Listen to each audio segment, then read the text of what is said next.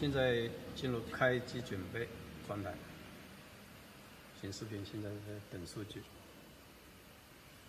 呃，这里有中文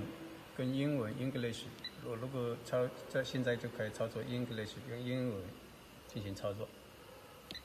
再点进去，在里面的话就有关跟中文的显示屏的里面的一一对应的，具体我就不说了，你让我具体看，啊，我带起来的，你看啊，对，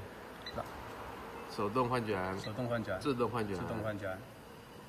我们是手动改手动换卷模式，改自动换卷模式，对，这是手动，这是手动换卷模式下面的手动换卷，这是停止，这电机启动报警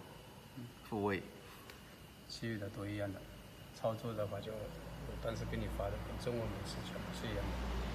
呃，如果想切切换的话呢，切换模式的话呢，那也必须要把整个呃后面这个 PLC 这里断掉，断电了以后，再可以可以重启中文跟英文界面都可以的，就是这个。